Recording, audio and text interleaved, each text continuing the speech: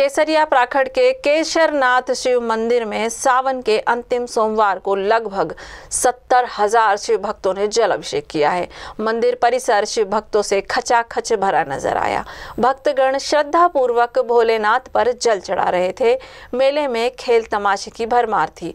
बच्चे झालुआ का लुफ्त उठा रहे थे। मिठाइयों की दुकान पर भी भीड़ थी, खिलौने की दुकान पर भी भीड़ थी।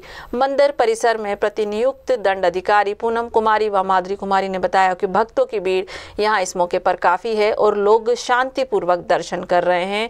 किसी प्रकार की कोई समस्या नहीं है। वृद्ध असहाय एवं शरीर से लाचार लोगों को जल चढ़ाने के लिए अलग से पूरी व्यवस्था की गई है।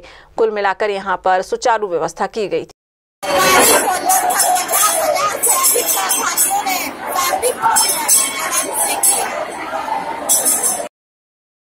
बिहार से वीरवल कुमार के साथ अरुण कुमार की रिपोर्ट।